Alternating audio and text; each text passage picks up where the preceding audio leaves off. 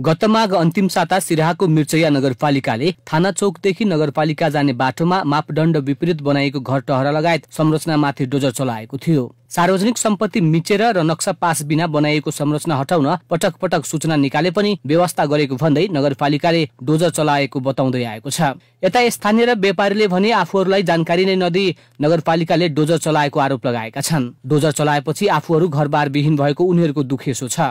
नगरपालिका प्रमुख श्रवण यादवले कुनै सूचना नदिई घरबाट सामान समेत निकाल्न नदिई सिधै डोजर चलाएको उनीहरूको गुनासो छ। पच्चीस गते के मेयर साहब टाइम दिले छलक इक्कीस गते के अति पेशी छलक तो दोनों पक्ष के आदमी पेशी होती ओकरा जे होती तो मेयर साहब करती ना?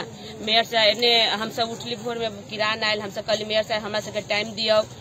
जब अहाँ तोड़बे करबे तो हमरा सबके टाइम दियो। तो हाँ हल्लू ना अहाँ सबके घर नहीं तोड़ इतने दिन में धराधर सब तोड़ हमरा सबके सामानो नहीं निकाले देलक। घर टहराहरू भत्काएपछि स्थानीयले क्षतिपूर्तिको माग गर्दै शुक्रबार नगरपालिका अगाडि धरना बसेका थिए। उता सार्वजनिक सम्पत्ति मिचेर र नक्सा पास बिना बनाइएको संरचना हटाउने क्रममा डोजर चलाएको नगर प्रमुख यादवको भनाइ छ। उक्त बाटो नक्सामा साठी फिट छ तर जग्गा मिचेर घर बनाएपछि अहिले बिस फिट मात्र बाटो रहेकाले सडक फराकिलो बनाएको प्रमुख यादवले बताए।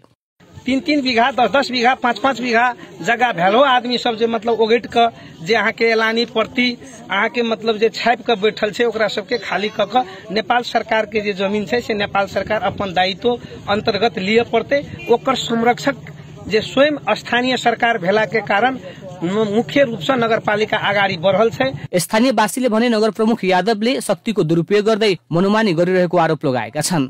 यादवले अदालतको आदेशलाई समेत लत्याएको उनीहरूको भनाइ छ। आफूहरूले वर्षौदेखि भोग चलन गर्दै आएको र त्यसको कर सरकारलाई बुझाइरहेको उल्लेख गर्दै अहिले सो जग्गा कसरी अतिक्रमित भयो भन्ने प्रति प्रश्न गरेका छन्।